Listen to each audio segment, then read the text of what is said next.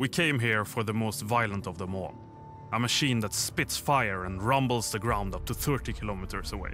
It's a dragon tamed by a few enthusiasts that call their stall Svarthålet, the Black Pit.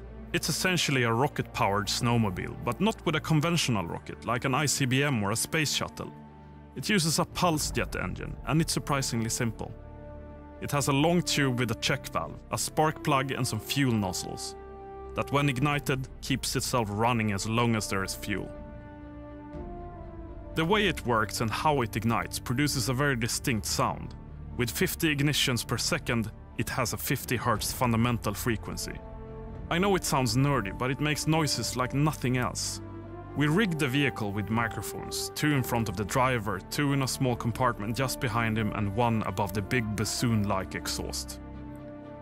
We also put microphones in several stages along the track it was going to run to get both close and distant pass-bys. And then we waited for it to wake up.